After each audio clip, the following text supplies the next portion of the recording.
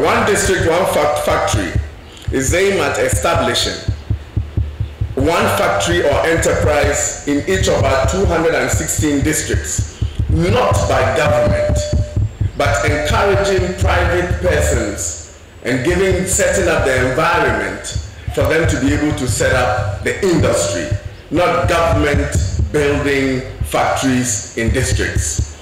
This is a similar partnership that has brought Zonda to Ankwa Dobro and in so on. I wish to appeal and ask for the unalloyed support of every Ghanaian as well as financial institution for the success of the One District, One Factory project. It is the only way, that we can effectively deal with the greatest threat of our future widespread unemployment amongst our youth. The government can employ so much, the big employer is the private sector, and we need to encourage them to start, we need to encourage them to grow, and we need to encourage them to stay. The government of Ghana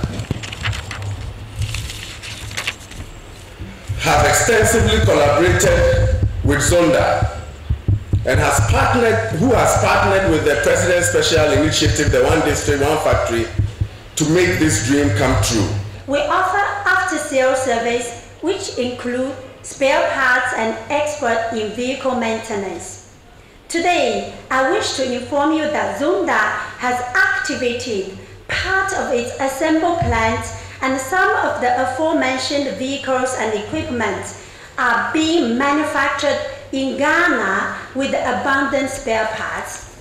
Now we are manufacturing some of the vehicles in Tema, our head office. You're all welcome to go there to have a look.